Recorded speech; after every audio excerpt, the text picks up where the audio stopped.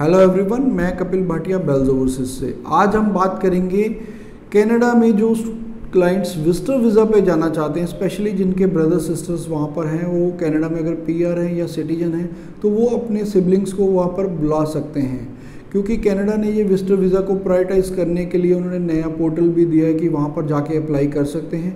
जैसा कि सभी को पता है कि सेवन्थ ऑफ़ सितंबर से already Canada visitor visa start कर चुका है और जो भी ऑलरेडी जिन्होंने सेवन सितंबर से पहले लगा हुए फ़ाइल अगर उनको रिजल्ट्स नहीं मिला तो उन्होंने कहा है कि वो भी अपनी फ़ाइल विड्रॉ करके दोबारा से इसमें लगा सकते हैं नए पोर्टल पे।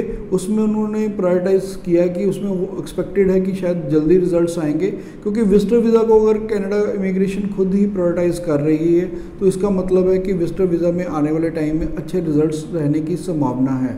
तो जो भी क्लाइंट्स इसके बारे में डिटेल जानकारी जानना चाहते हैं तो वो हमारे से कांटेक्ट कर सकते हैं नीचे दिए नंबर पर या हमारे सोशल मीडिया हैंडल्स पे हमें कांटेक्ट कर सकते हैं thanks for watching Bells Overseas. Visit us or call us for visa services.